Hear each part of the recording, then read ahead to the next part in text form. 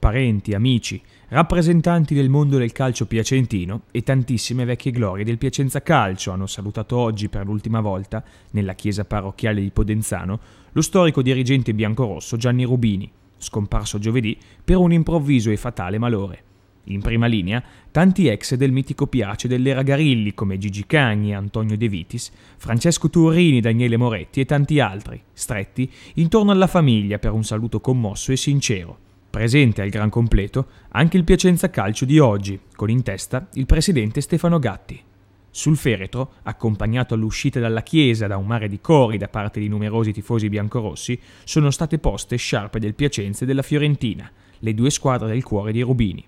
Molto emozionante anche il passaggio del corteo funebre davanti al campo sportivo di Podenzano, dove i bambini, che Gianni ha allenato con passione ed edizione fino all'ultimo, si sono disposti sui lati della carreggiata per tributargli l'ultimo applauso. Ieri, invece, il Consiglio Comunale di Podenzano, all'unanimità, ha votato la proposta di intitolare a Rubini l'impianto in sintetico sorto pochi anni fa e che ospita le squadre giovanili del club locale, un campo dove negli ultimi tempi Rubini ricopriva il ruolo di allenatore di una formazione di ragazzini.